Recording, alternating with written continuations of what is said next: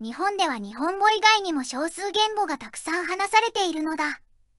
奈良時代頃まで他にもたくさんの少数言語があったけど、どんどん日本語に上書きされて消えてしまい、江戸時代には本州アイヌ語が滅び、最近になってから太アイヌ語と千島アイヌ語が滅び、北海道アイヌ語がわずかに現存しているのだ。そんなことをしているうちに、最近2000年くらいで離島の言葉はどんどん独自路線を歩んで、今はこんな状況になっているのだ。北海道のアイヌ語で記録がしっかり残っていて調べやすいのは、猿という場所の方言なのだ。最初はまずこの言葉を学習するといいのだ。余裕があれば、次にカラフト方言を学習すると、アイヌ語全体の構造を理解しやすいのだ。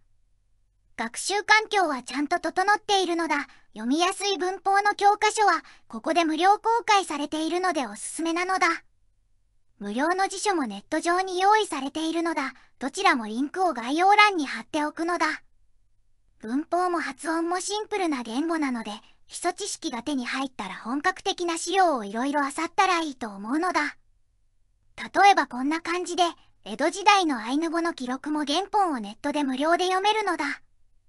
というわけで、実はアイヌ語はとても学習しやすい言語なのだ。単純に話者数で言えば、危機的レベルはこの順番だけど、八丈語や与那国語の方が先に滅びるのではないかと、個人的には危惧しているのだ。